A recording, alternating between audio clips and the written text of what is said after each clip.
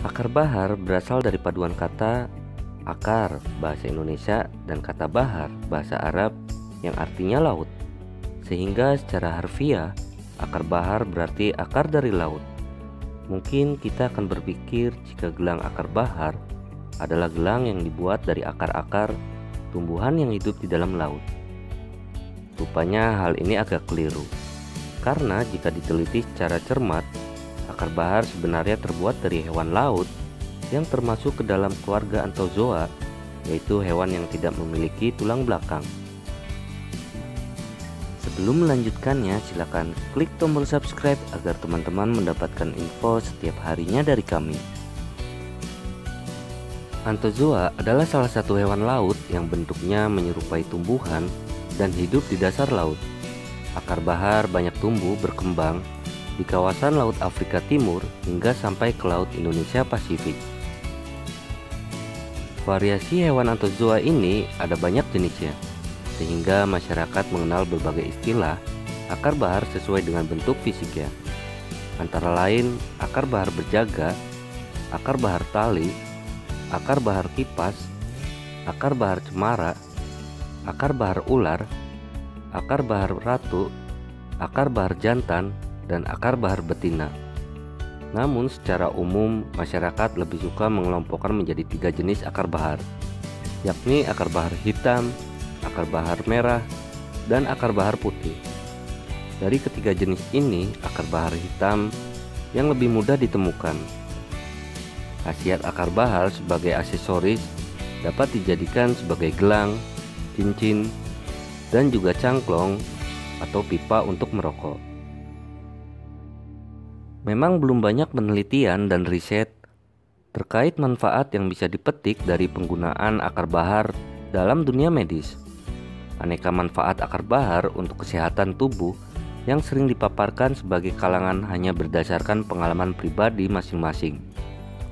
Salah satu manfaat yang sering diungkapkan dengan memakai gelang akar bahar adalah vitalitas tubuh yang lebih baik.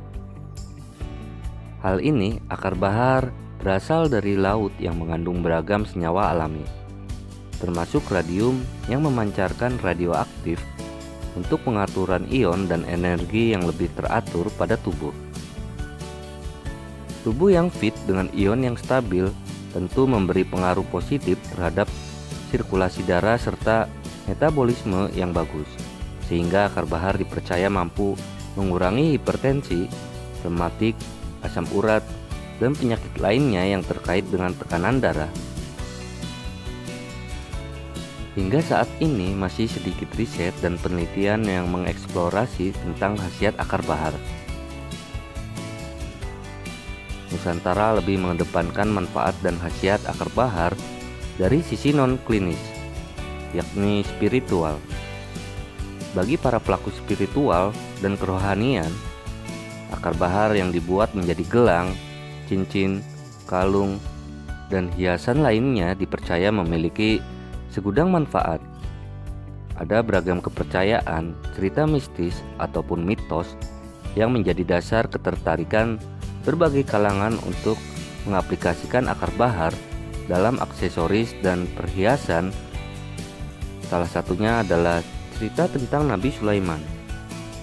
Konon akar bahar merupakan cemeti atau cambuk yang dipakai oleh Nabi Sulaiman untuk mengikat dan membelenggu jin yang dihukum karena berbuat kejahatan. Para jin dan setan tersebut dipenjarakan di dasar laut dan yang menjadi tali pengikatnya adalah akar bahar. Hal inilah yang katanya membuat para jin dan setan merasa takut jika melihat akar bahar.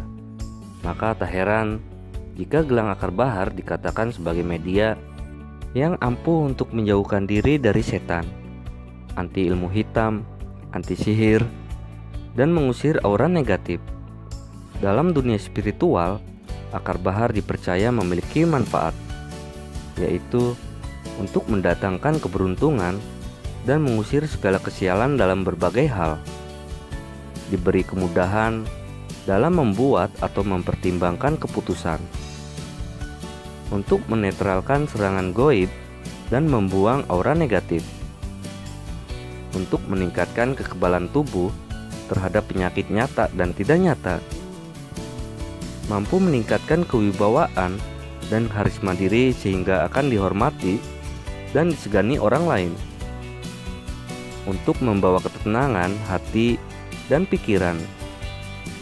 Untuk meningkatkan stamina dan semangat kerja dapat mempertajam intuisi dan kecerdasan emosional. Dapat memberi pengaruh persuasif dan menarik simpati publik. Dan untuk meningkatkan rasa percaya diri serta berjiwa lebih berani. Segala sesuatunya hanya milik dan kehendak Allah Subhanahu wa taala. Jadi sebaiknya jangan terlalu mengutamakan keagungan suatu benda termasuk akar bahar dengan berbagai khasiatnya tersebut, khususnya di dunia spiritual atau goib.